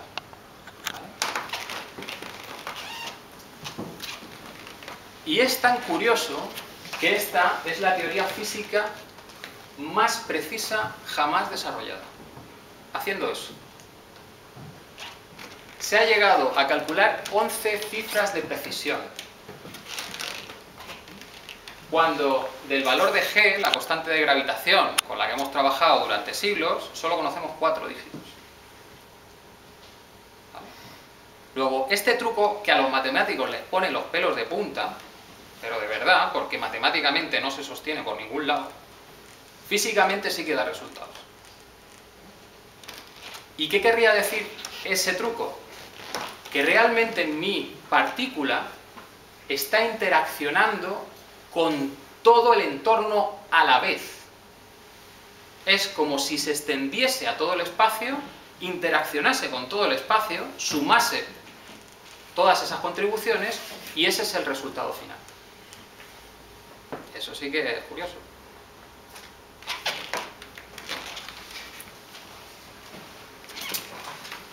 Bueno, pues la teoría cuántica todavía sigue unos años más y se llega a la interacción débil, la interacción fuerte, bueno, pero eso lo vamos a dejar.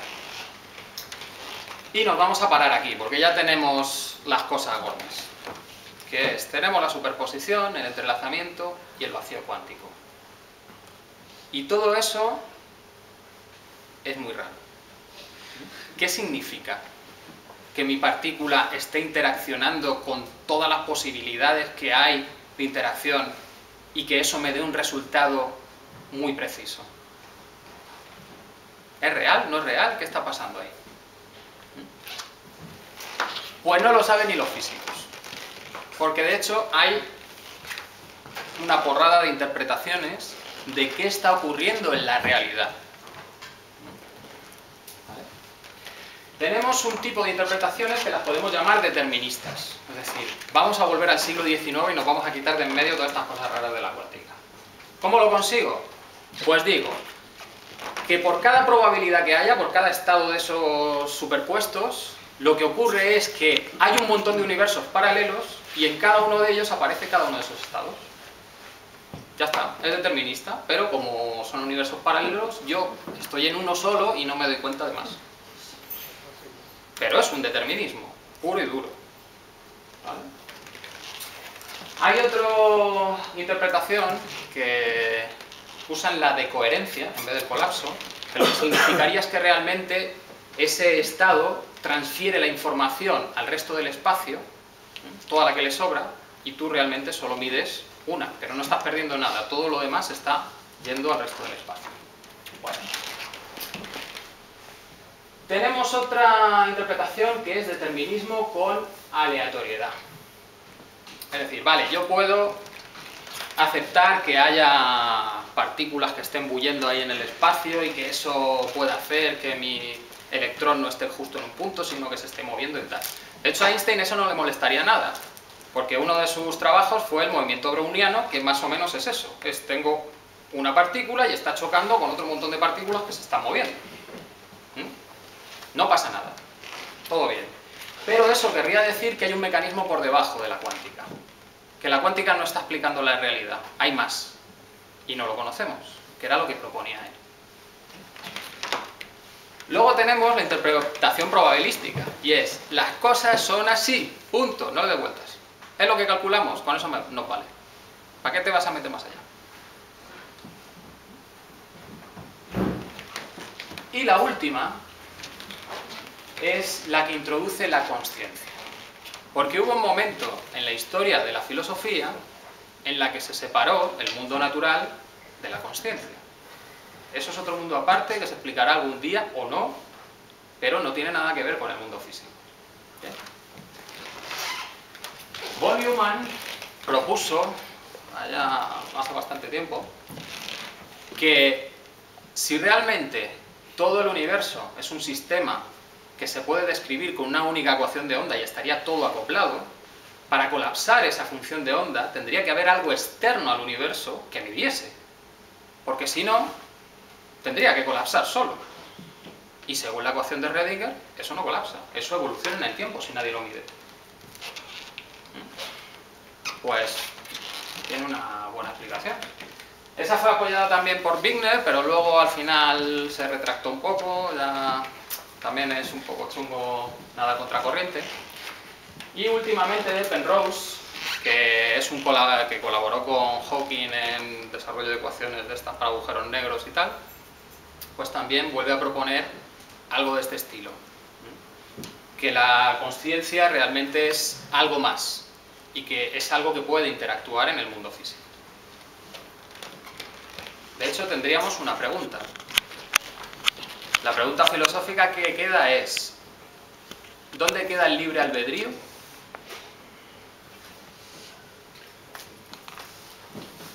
Porque si el materialismo me dice que todo es causa-consecuencia, causa-consecuencia, todos mis pensamientos son la consecuencia de algo que me ha ocurrido antes, y aunque yo tenga la sensación de que estoy diciendo lo que quiero, es simplemente una ilusión, todo estaba organizado desde antes.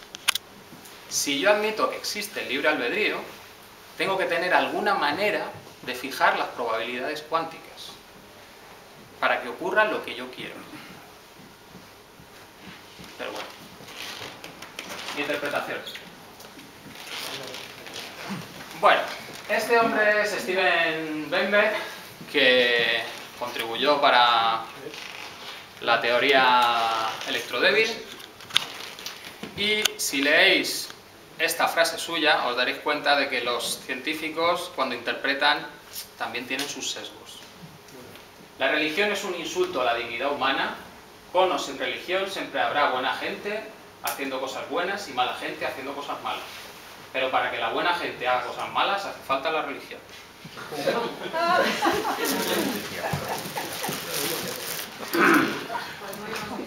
Si, nos vamos un pasito atrás en esta argumentación, lo que significa es voy a luchar como sea contra toda interpretación que deje por ahí en medio un espíritu, un dios o algo parecido.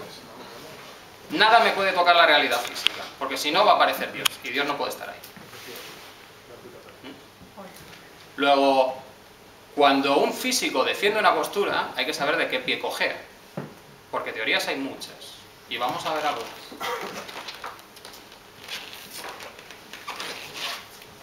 De todo lo que hemos visto, que se ha quedado un poco en el aire, cuál es la interpretación que puede valer o no, eh, Bell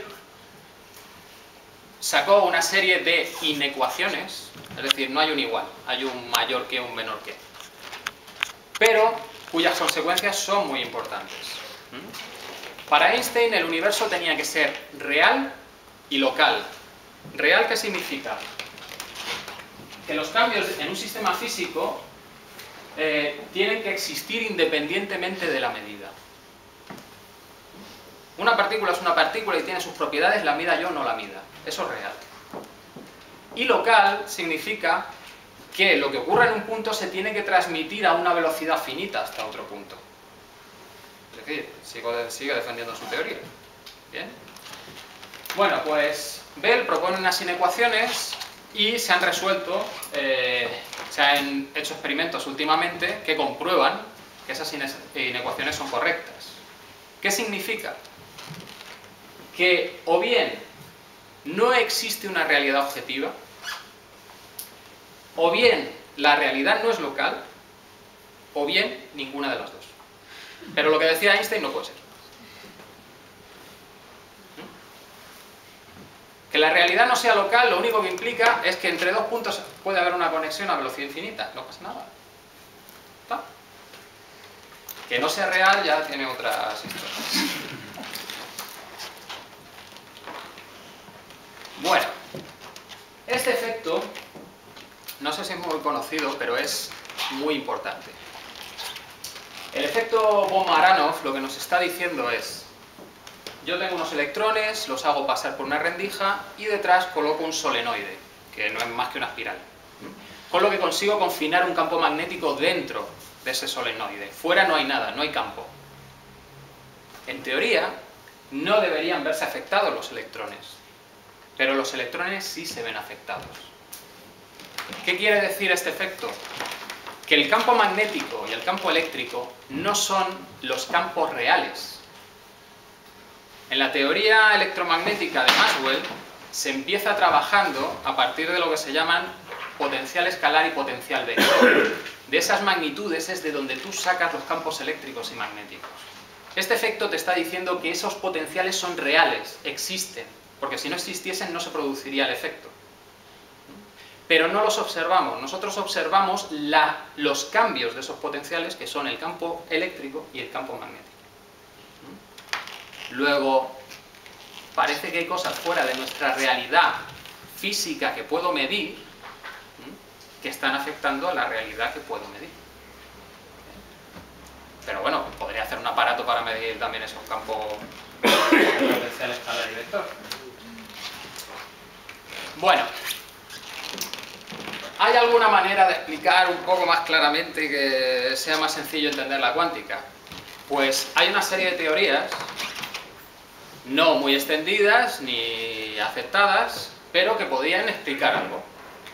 Una es retomar la electrodinámica clásica y no hacer el vago.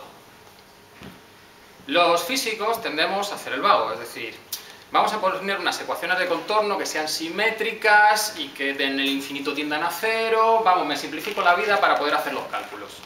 Hay veces que o haces eso o no haces cálculos, porque no sabes resolverlo. Pero, curiosamente, eh, las suposiciones que se han hecho en la electrodinámica que nosotros manejamos todos los días descartan una serie de ecuaciones y efectos que pueden explicar muchas cosas. Y uno de ellos es que el potencial escalar y vector pueden generar lo que se llaman ondas escalares. Esas ondas escalares, dependiendo de la teoría, pues tienen una velocidad de propagación o tienen una velocidad de propagación infinita. Con lo que tendríamos una manera ya posible de explicar el entrelazamiento, cómo se pasa esa información entre, los dos, eh, entre las dos partículas. Además, eh, el campo electromagnético es similar, es casi idéntico, las ecuaciones del campo electromagnético son casi idénticas a las ecuaciones de hidrodinámica. Luego se podría hacer estudios de qué consecuencias se pueden sacar en el campo electromagnético utilizando las soluciones ya conocidas de la hidrodinámica. ¿Mm? Flujos turbulentos, flujos laminares, todo ese tipo de cosas. Más, eh, la electrodinámica estocástica. La electrodinámica estocástica no es nada más que la electrodinámica clásica de toda la vida, sin meter los rollos estos que os he contado, y diciendo que hay un campo electromagnético en todo el universo, cubriendo, que interacciona con las partículas. Entonces, si una partícula se mueve a una velocidad uniforme y no muy alta con respecto a ese campo, no lo notaría. Pero en cuanto se produzca un cambio de dirección o acelere, notaría una presión en contra. Eso podría explicar la inercia, cosa que ahora mismo no hay ninguna teoría que la explique. Pero no solo la inercia, Podría incluso explicar el spin, porque podría hacer que el electrón girase sobre sí mismo. Y si el electrón gira sobre sí mismo, el electrón incluso podría ir a la velocidad de la luz, porque nosotros lo que medimos es el desplazamiento, no la velocidad de giro. Y eso implicaría que no tiene masa y que la masa viene también del apantallamiento que hace esa partícula con respecto a otra. Si ese campo electromagnético me viene por este lado, la partícula va a pantallarlo. Si pongo otra aquí, lo que va a ocurrir es que van a tener una fuerza que las va a atraer una contra otra. Esta teoría muy chula, da algunos resultados buenos y tiene otros que son pues no tan buenos. Se ha propuesto últimamente una serie de modelos matemáticos para resolver esos problemas, pero bueno, por lo menos tiene unos visos de cosas lógicas. Y lo último, eh, la ZPE es Zero Point Energy, es, coger el mismo campo electromagnético que en la estocástica es clásico, pues hacerlo cuántico, tendrías efectos parecidos, pero es que incluso hay teorías que proponen que la masa puede ser variable. Y con esa masa variable ya la liamos del todo en el universo porque los efectos Doppler pueden no ser debidos a las velocidades, sino que las masas sean más pequeñas y entonces las distancias en el universo ya no son las mismas, de todo. Pero hay observaciones últimamente en las que se comprueba que los espectros de ciertos elementos del espacio no corresponden con los espectros de los elementos medidos en la Tierra. O sea que posibilidades puede haber. Bien, y de todo esto que os he contado de la cuántica, a mí en mi vida me afecta para algo. Bueno, pues aparte de que nuestros átomos estén en su sitio y que podamos vivir debido a los efectos cuánticos, pues un efecto cuántico es la semitransparencia.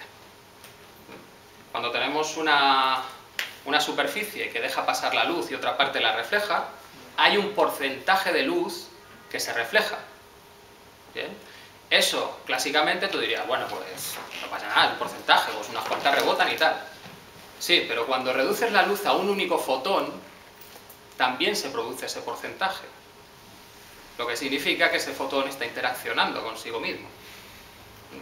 Que la propiedad es básica de esas partículas. La radioactividad también es un efecto cuántico. El microscopio de efecto túnel utiliza el efecto que hemos visto antes.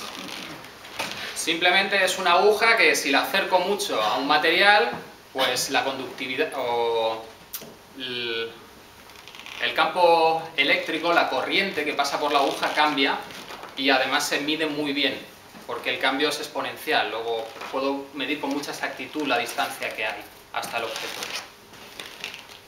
Los transistores también funcionan, algunos con efectos cuánticos, la imagen de resonancia magnética que veis por ahí del corazón latiendo también son efectos cuánticos. Y el SQUID es un aparato que lo que sirve es para medir campos magnéticos muy débiles, que incluso se utiliza para medir eh, los campos magnéticos generados por el cerebro o el cuerpo, y es una manera bastante mejor que medir campos eléctricos en cuestión de diagnóstico, porque los tejidos son transparentes a los campos magnéticos. Bueno, todo eso es tecnología. Pero es que los efectos físicos y los efectos cuánticos los utilizan los tejidos vivos. En 1945 se descubrió que los huesos tienen el efecto piezoeléctrico. Por andar se están generando corrientes en nuestros huesos y eso ayuda a que se fije el calcio. Luego cuando no andamos, menos, menos hueso. En 1971 se descubrió que puede haber estados de plasma en tejidos. El plasma es un estado en que los eh, átomos pierden los electrones. En el 75, superconductividad. Puede haber eh, tejidos que tengan unas determinadas moléculas y en esas moléculas los electrones moverse sin resistencia ninguna. En el 84, el efecto Josephson y la superfluorescencia. El efecto Josephson es el que utiliza el SQUID, ese aparato para medir campos magnéticos muy débiles. Luego, los tejidos vivos están preparados para detectar esos campos magnéticos muy débiles. El efecto Hall, que es aplicar un campo magnético y desviar un campo eléctrico. También se ha visto en tejidos. Fonones, que son vibraciones en conjunto de, muchos elementos.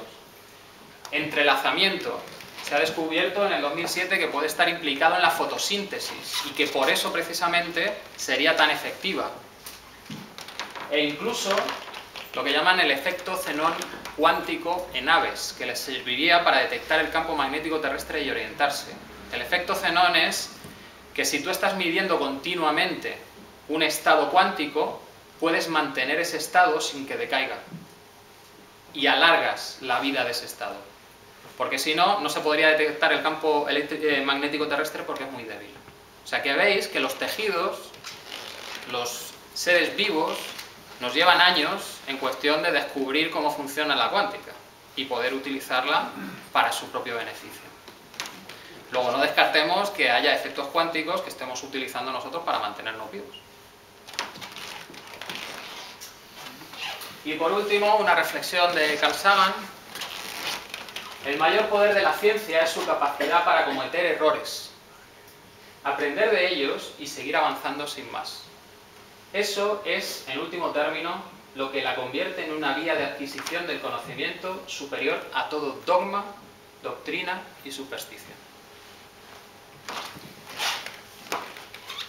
Y muchas gracias.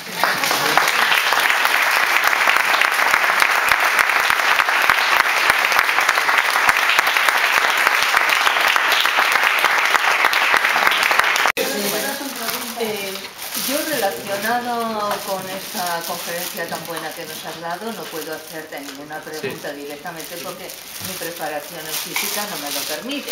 Pero sí quería que me aclararas si puedes. Tú sabes que hoy día hay muchos detractores del microondas casero que tenemos. En, en una ocasión eh, asistí también a otra conferencia y quien nos la daba eh, defendía que, por ejemplo, la leche es un peligro, calentarla en un microondas porque altera la organización de las moléculas del producto. Sí. Y entonces eh, puede ser pernicioso para la salud. Eh, Entonces, claro, es que nos dejó así como, vamos, como para no volver a calentar una tacita de leche en un microondas. Según mi humilde conocimiento sobre esto, el microondas lo que hace es activar modos de rotación de las moléculas. Luego genera más agitación molecular y eso es calor, al final, ¿no? Temperatura. Y se va transmitiendo al resto de el- del material que hayas puesto ahí, la carne o lo que sea. Si no tienes agua no se calienta, porque es lo que produce, que, vibre el agua. ¿vale? Lo que pasa es que se pueden producir calentamientos muy rápidos en determinadas zonas. Y esos calentamientos muy rápidos pues, pueden degenerar las zonas que estén cerca. Yo no sé hasta qué punto un calentamiento rápido de una proteína puede llegar a degenerarla para que sea dañina. Creo que no, ¿vale? Porque a veces nos pasamos, nos churroscan las cosas y no las comemos igual. Que pueda generarse algún efecto cuántico de zonas que es... No lo sé, pero Pues, me da que de no... momento sigo poniendo la taza en el... Es- sería sería más, más peligroso en el microondas. Sería por la posible degradación de los plásticos que utilices para meterlos que no por el calentar el, el- el alimento en sí. producto en sí. Es que no se puede meter con plástico. No, él incidía mucho en el tema de los plásticos, pero vamos, era una taza de, de loza, de porcelana, em, con leche, que precisamente si tenía unas moléculas alineadas se superponían al calentarla y entonces eso terminaba siendo pero nocivo, pero muy nocivo. Como nos ha dicho Feynman, Pues nada. el experimento es la base del conocimiento, luego si él dice eso, hay que probarlo. Y ya está. Pues, Nada más. gracias. No, eh, a, pro- a propósito de la, de la pregunta de aquí de la, de la compañera, Sí. eh, eso era el calor y el frío que también altera las moléculas, el, que el congelamiento, cuando congelamos los, de los alimentos. Sí, bueno, el- lo que ocurre en la congelación es que al generarse cristales de hielo, lo que suelen es romper el tejido. Entonces, en la rotura del tejido, pues puedes perder, perder El nutrientes. líquido no sé, intercelular y el que líquido se pierde. también. Y sobre todo la textura te cambia. Ahora te pregunto sobre la conferencia. Bueno, eh, contestando un poco a lo que preguntaban, recordando que esta misma pregunta se la hicimos a, pues a los investigadores de GlaxoSmithKline que nos dieron alguna charla. ¿no? Entonces, bueno, lo que nos dijo es que efectivamente eh, ese calor, las proteínas están compuestas de aminoácidos. ¿no? Nuestro cuerpo, el aparato digestivo, descompone las proteínas en aminoácidos para que puedan ser asimiladas por las células. Lo que hace el microondas es que rompe muchas moléculas de proteínas y las descompone ya en aminoácidos. ¿Tiene eso algún efecto? El hecho de que en vez de ingerir las proteínas completas, no las, eh, eh, las eh, adquiramos, adqui- eh, vamos a adquirir ya troceadas. Pues de momento no, parece que no, pero tampoco se puede descartar que en el futuro pueda tener algo. Eso es lo que digo. Ya solamente sobre el tema. es- Con respecto a la, a la conferencia tuya, que me ha parecido estupenda y muy, muy completa, además te felicito porque ha sido muy completa, muy difícil de, de sintetizar. Quería preguntarte sobre esas últimas teorías que podían Sí. explicar los efectos cuánticos. Yo entiendo que son teorías del género de las teorías de cuerdas, es decir, que no se pueden catalogar como teorías porque no proponen ningún experimento que pueda demostrar eh, si son verdad o son falsas. No, en este caso sí que es posible hacer experimentos. Para, porque, por ejemplo, si no he entendido mal, una de ellas se habla de que las ondas escalares Sí. pueden ir a más velocidad de la luz, ¿no? Sí, Eh, bueno, para hacer esa aseveración tendrán que proponer algo que pueda Claro, demostrar claro, una cosa tan, claro. tan fuerte. En teoría las ondas escalares las puedes hacer eh, interferir para que produzcan un efecto eléctrico magnético. Pero tienes que desarrollar un aparato que sea capaz de generarlas. Eso pasó en tiempos de Hertz también. Mm, La teoría electromagnética proponía que existían ondas electromagnéticas, no se habían detectado y se detectaron al cabo de unos años.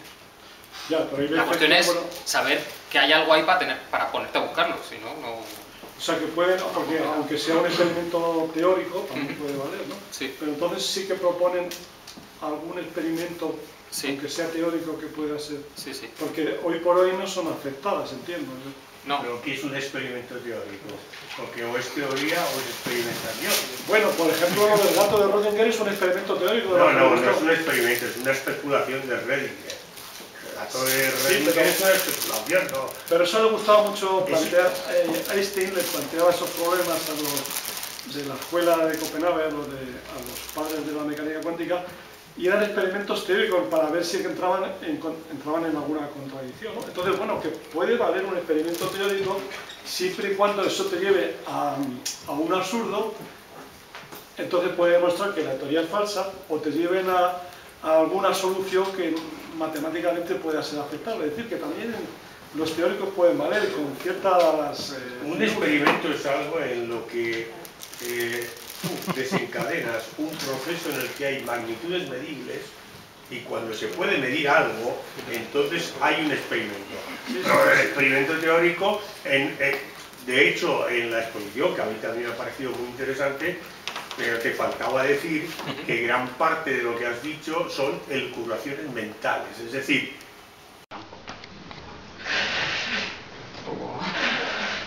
hace, hace 15 días leí una, en una revista Madrid más de Sí. que la noticia de que se había hecho un experimento eh, basado en, en relazamiento cuántico en que una partícula tenía un efecto sobre el pasado. Es decir, una partícula con otra sobre el pasado. Sí. No lo acabo de... No sé si habrás leído, lo has leído. A ver, hay, hay teorías cuánticas que proponen que las partículas pueden tener eh, un paquete de ondas dirigiéndose al futuro y otro paquete de ondas dirigiéndose al pasado. Luego, las partículas están en interacción continua y bueno, imaginarlo es un poco, un poco complejo, ¿no? Pero mm, ahí no te puedo decir mucho más. sobre el pasado. Dime. No, simplemente creo que expreso la opinión general del, del público que has- nos ha dado una panorámica completa, profunda, a nivel que podemos nosotros entender. No obstante, hay unos aspectos que sí me interesan. Y uno es lo que ahora dicen los científicos, la irrazonable eh, capacidad de la matemática para, eh, digamos, para explicar la naturaleza. Y ahí has puesto el ejemplo tan bonito de la renormalización, ¿verdad? que digamos la suma de infinitos términos, muy sencillos de expresar, que cualquier chaval de bachillerato diría que la suma de infinitos términos es infinito. Bueno, los matemáticos desde el siglo XVII, desde Euler, saben que se pueden sumar infinitos términos y dar una cantidad que suele ser menos un, menos un tercio la típica conocida de, las, los spin, de la carga, etc. Entonces vamos a ver. Eh, nuestro amigo Agustín nos dice que realmente la base es el experimento, tú lo has dicho al comienzo. Bueno, realmente las interpretaciones, eh, digamos, de, la, las, ideas acerca de, de la ciencia, del progreso de la ciencia, no son tan radicales, no separan tan nítidamente hipótesis y experimentos, es, digamos, pues un proceso ¿eh? en el que se exponen hipótesis y digamos se hacen experimentos y eso nos va, abriendo el abanico de posibilidades y de hecho eh, física, aunque parezca mentira, el gran que experimente es el experimento mental de una fuerza apabullante.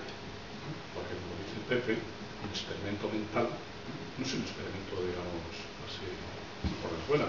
Pones a prueba sobre el papel eh, hipótesis. Hipótesis. Lógicamente las hipótesis tienen que ser eh, consecuentes, tienen que ser, se tienen que sostener sin llegar a hacer ningún experimento físico. Y bueno, era esto simplemente, oye, que, que Eso, eso también enlaza con la incapacidad de los físicos teóricos de hacer experimentos. bueno, también. Porque salvo Fermi, que no hemos hablado de él, todos los demás, pues ya veis que estropear aparatos y cosas de ese tipo. Entonces te tienes que inventar otro tipo de experimentos para poder avanzar, mientras los físicos aplicados te hacen el, el que compruebe de verdad lo que tú estás diciendo. Agradecemos todos la charla tan buena que has dado y ya sabes, estás contratado para... Gracias. Pero para realizar el rizo, Paco, Sí. que ya esto, lógicamente, estamos en las Ajá. Con lo cual, y como ha habido algunos excursos ahí que te has metido con Gestein, que se dedicaba más a la alquimia que a la física, y con Pauli, que si le dio por la Sí, sí. parapsicología, y por último, las buenas y malas gentes, una de las novedades que yo he visto que aporta también la teoría cuántica es que intenta al menos que haya una aproximación entre lo que es el conocimiento científico, si como tal entendemos la física, la matemática, aquello que se puede experimentar, con, yo no lo diría religión en cuanto a sistema de creencias, doctrinas y rituales que se practican, sino referido sobre todo a la conciencia, al interior del hombre, a lo subjetivo frente a lo objetivo que sería la ciencia. ¿no? Entonces, si precisamente estamos hablando de cuántica, es porque en la historia ha habido esa confrontación permanente entre lo uno y lo otro. Sin embargo, de estos filósofos que has nombrado y de estos físicos que has nombrado, entre los que se mencionan a, Einstein y se menciona a Heisenberg y se menciona a Planck y se menciona a Hegel y a Kant, son declarados místicos en ese sentido de la unión con la totalidad. Por lo tanto, ese enfrentamiento, ese conflicto que hasta ahora parecía que había entre fe y razón, entre materialismo histórico y, y- y lo otro, por, o la metafísica, por aquello que va más allá de la física, aquello que está dentro del interior de la persona humana, parece que la teoría cuántica está llegando también, si no a una disolución de- del conflicto, pero sí a una aproximación entre una cosa y otra. Eso depende mucho del, del físico. Hay corrientes y no son las más extendidas las que intentan aunar física con conciencia, con el, con el resto. Al final es tema también de especulación, salvo que te pongas a hacer experimentos. Y el único que conozco yo es eh, un experimento que se llama, llama The Global Conscious Project, en el que se intenta ver si la conciencia humana cuando suceden eventos así dramáticos es capaz de cambiar eh, el comportamiento aleatorio de unas máquinas que han construido. Y se llevan recogiendo resultados durante 20 años y según los datos que tienen, la desviación, o sea, la posibilidad de que sea al azar esa desviación es de una entre 40 millones. O sea que sí que están recogiendo como cambios en esa aleatoriedad del aparato en cada momento en el que hay un, un evento mundial, mundial dramático. Bueno, dramático o que sea emocionalmente intenso. Pero eso es lo único que conozco. Pues nada más. que una de las aplicaciones de la física cuántica que desde hace unos años se está periódicamente publicando es la física cuántica como elemento que va a revolucionar la informática porque habrá procesadores que se basen en la física cuántica. De eso no nos has dicho nada. No, bueno. Es que eso, vamos a ver, por un lado tienes lo que es la criptografía, que se basaría en, en el entrelazamiento, ¿vale? y de es- eso hay máquinas ya de, de criptografía cuántica. Y por otro lado tienes lo de los ordenadores cuánticos. Ya en ese tema estoy poco versado.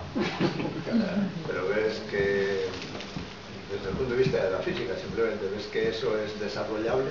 Sí, O pura paja mental. No, no, desarrollable es. eh, luego que tenga aplicaciones muy específicas, en resolución de problemas muy específicos, que los haga muy rápido, pues lo mismo se utiliza para eso en vez de la informática normal que puedes programar para hacer cualquier cosa. Eso sería como más específico para resolver problemas determinados, porque la programación tendrías que ir construyendo estados y tal. Pero, vamos, posible, puede ser.